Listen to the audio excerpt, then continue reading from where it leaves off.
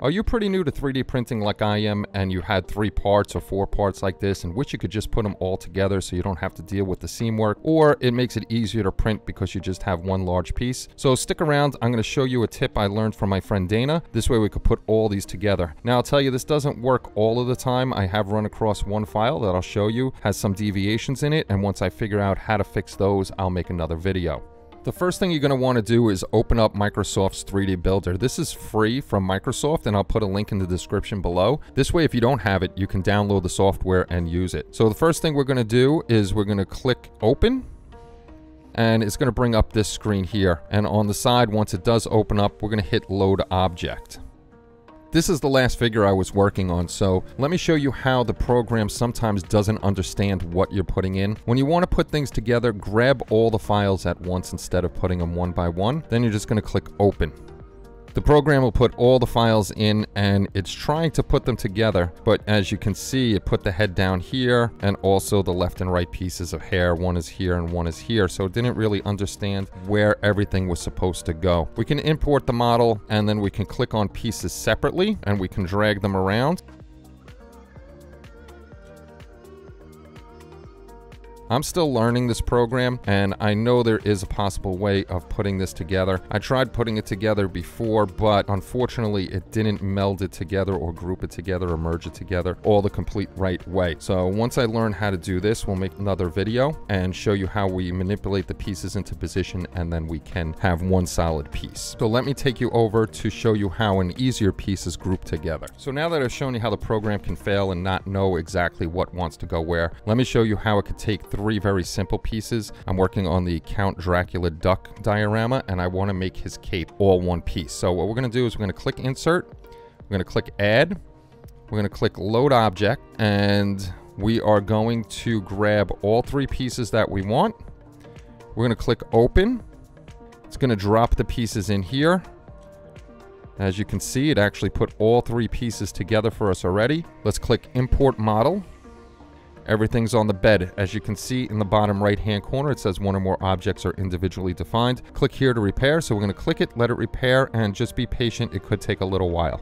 The repair process is beginning. It's going to go through, and once it's done, we'll be able to work on it further. Now that the repair is done, we're going to click select all. It's going to group everything together. And you can see these lines that are over here showing us that it's three separate parts. One half of the cape here, one half of the cape here, or I should say a third of the cape here, and the final third of the cape here. We're just going to click group.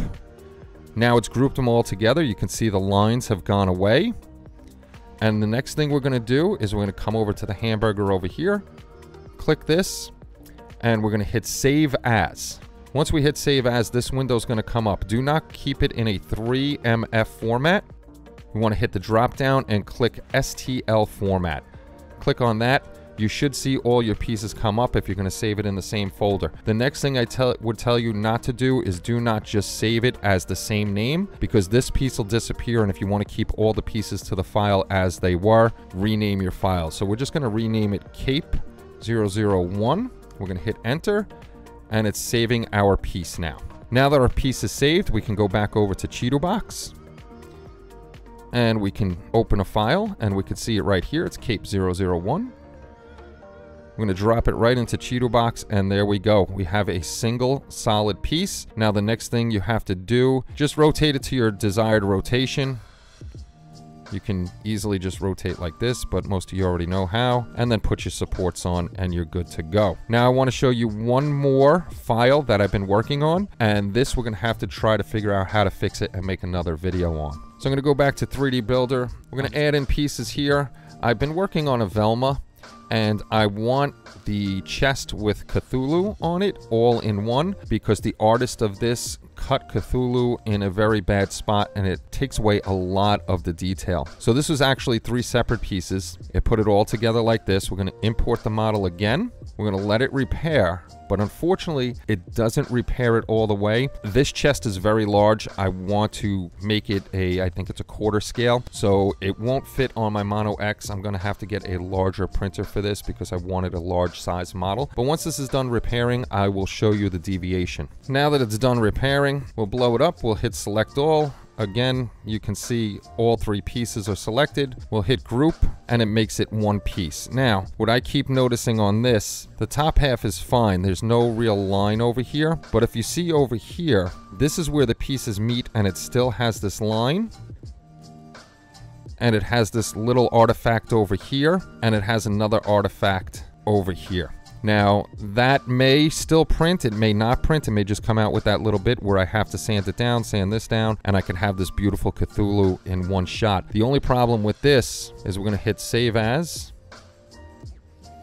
We're going to save it in an STL format again, and we're going to name it chest001, and it's saving it. We'll go back into Chitubox. We'll open the file. We'll go into Velma, and here's chest 001. We're going to plop it in, and then you can see how big this chest is. I, am quite sure it could fit on um, an M3 Max, but I could never fit it in here, and I'd have to scale it down uh, a whole bunch, probably down to 60% at least to, to fit it all in one. But you can see why here I want to make it all one. And again, right here in Chitubox, you can actually see the deviation better. There's a big lip over here, so it's not marrying up correctly, and I would have to try to put this detail back in with some putty and take away this. That part probably is no big deal. I'm just scared of a failed print, and there's our other artifact over there. And again, here's our 3D printed piece that we can do in one shot now and not have to worry about putting those three pieces together. So if this video was helpful, please hit that thumbs up button and hopefully you hit that subscribe button and come check out more.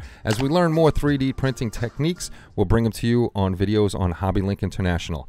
Thank you very much, everybody. Take care and bye bye.